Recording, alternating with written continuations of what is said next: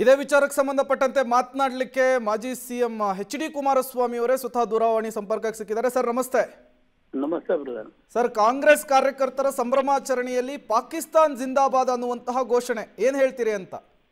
ಇದು ಈ ರಾಜ್ಯವನ್ನ ಯಾವ ದಿಕ್ಕಿನಲ್ಲಿ ತೆಗೆದುಕೊಂಡು ಹೋಗುತ್ತೆ ಈ ಕಾಂಗ್ರೆಸ್ನ ಆಳ್ತಾ ಬಂದ ನಂತರ ಅಂತಕ್ಕಂತ ಕಳೆದ ಏಳೆಂಟು ತಿಂಗಳ ಅವರ ಘೋಷಣೆಗಳು ಒಂದು ವರ್ಗವನ್ನ ಓಲೈಸ್ತಕ್ಕಂತ ಕಾಂಪಿಟೇಷನ್ ಏನಿದೆ ಅವರಲ್ಲಿ ಹೇಳಿಕೆಗಳಲ್ಲಿ ಆಮೇಲೆ ಅವರ ಕೆಲವು ಕಾರ್ಯಕ್ರಮಗಳ ಘೋಷಣೆಗಳು ಇದೆಲ್ಲ ನೋಡಿದಾಗ ಇವತ್ತು ವಿಧಾನಸೌಧದ ಒಳಗೆ ಒಳ ಒಳಗೆ ಒಳಗಡೆ ಇಂಥ ತಿಳಿಗೇಡಿಗಳು ಇಂಥ ದೇಶದ್ರೋಹಿಗಳು ಬಂದು ಬೆಂಗಾಲನ ಮಂತ್ರಿಯವರು ಕಟ್ಸಿರ್ತಕ್ಕಂತ ಈ ಒಂದು ಭವನದಲ್ಲಿ ಇವತ್ತು ಪಾಕಿಸ್ತಾನ ಜಯ ಘೋಷಣೆ ಮಾಡಿರ್ತಕ್ಕಂಥದ್ದು ಏನಿದೆ ಪಾಪ ನಮ್ಮ ಮುಖ್ಯಮಂತ್ರಿಗಳು ಕಳೆದ ಒಂದು ತಿಂಗಳಿಂದ ನಮ್ಮ ದೇಶದ ಸಂವಿಧಾನದ ಬಗ್ಗೆ ಪಾಠ ಹೇಳ್ಕೊಟ್ ಬಂದ್ ಪಾಠ ಹೇಳ್ಕೊಡ್ತಾ ಇದ್ದಾರೆ.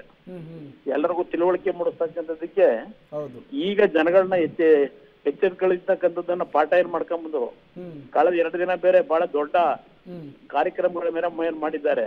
ಇವರು ಇವ್ರಿಗೆ ಏನಾದ್ರೂ ಅಲ್ಪ ಸ್ವಲ್ಪ ಮಾನ ಮರ್ಯಾದೆ ಇದ್ರೆ ಸರ್ಕಾರಕ್ಕೆ ತಕ್ಷಣ ಫುಟೇಜ್ಗಳಿದ್ದಾವ ವಲೆಯಲ್ಲಿ ಹ್ಮ್. ಅರೆಸ್ಟ್ ಮಾಡ್ತಕ್ಕಂಥದ್ದು ಇಷ್ಟೊತ್ತಿಗೆ ಆಗಬೇಕಾಗಿತ್ತು.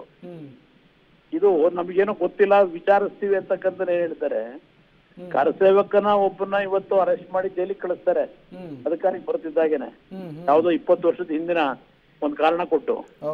ಇಲ್ಲಿ ಇವತ್ತು ವಿಧಾನಸೌಧದಲ್ಲಿ ನಡೆದಿರ್ತಕ್ಕಂತ ಈ ಒಂದು ಜೈಘೋಷ ಏನಿದೆ ಇವರು ದೇಶದ ದ್ರೋಹಿಗಳು ಅಂತಕ್ಕಂಥದ್ದು ಸಾಬೀತು ಮಾಡಿದ್ದಾರೆ ಅಷ್ಟೇ ಅಲ್ಲ.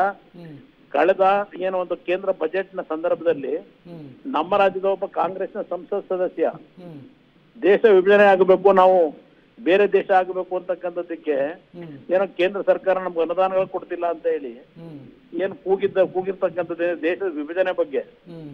ಇದು ಮುಂದುವರೆದ ಭಾಗ ಇದು. ಮುಂದೆ ಇವ್ರು ಯಾವ ಮಟ್ಟಕ್ಕೆ ಹೋಗ್ತಾರೆ ಕಾಂಗ್ರೆಸ್ ಅವರು ಅಂತಕ್ಕಂಥದ್ದು ಅದರಿಂದ ತಕ್ಷಣ ಅವ್ರು ಯಾರು ಅಲ್ಲಿ ಕೂಗಿದ್ದಾರೆ ಅವ್ರನ್ನ ಅರೆಸ್ಟ್ ಮಾಡಿ. ಇವತ್ತು ಸರಿಯಾದ ಕ್ರಮ ತೆಗೆದುಕೊಳ್ಳದೆ ಇದ್ರೆ ರಾಜ್ಯ ಇವತ್ತು ವಿಧಾನಸೌಧ ಕೊನೆಗೆ ಯಾವ ಪರಿಸ್ಥಿತಿಗೆ ಹೋಗುತ್ತೆ ಅಂದ್ರೆ ಇವತ್ತು ಪಾಕಿಸ್ತಾನ ಅಷ್ಟೇ ಅಲ್ಲ ನಾವು ನೋಡ್ತಾ ಇದ್ದೇವೆ.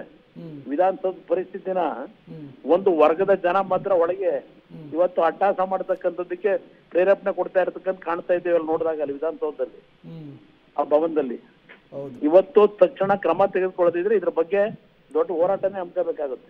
Okay okay okay. Thank you H D Kumaraswamy ಅವರೇ. ಪಬ್ಲಿಕ್ ಟಿವಿ ಜೊತೆ ಮಾತನಾಡಿದ್ದಕ್ಕಾಗಿ. ಇದು ಎಚ್ ಡಿ ಕುಮಾರಸ್ವಾಮಿ ಅವರ. ಗೊತ್ತಿಲ್ಲ ತತ್ಕ್ಷಣಕ್ಕೆ ಕ್ರಮ ಆಗಬೇಕು ಅಂತ ಹೇಳಿ ಆಗ್ರಹಿಸಿದ್ದಾರೆ. ನನ್ನ ನನಗೆ ಗೊತ್ತಿಲ್ಲ ಯಾವ್ದು ಮಾಡಿಲ್ಲ. ನನಗೆ ನನಗೆ ಗೊತ್ತಿಲ್ಲಪ್ಪ. ನನ್ನ ನನಗೆ ಗೊತ್ತಿಲ್ಲ ಯಾವ್ದು ಮಾಡಿಲ್ಲ.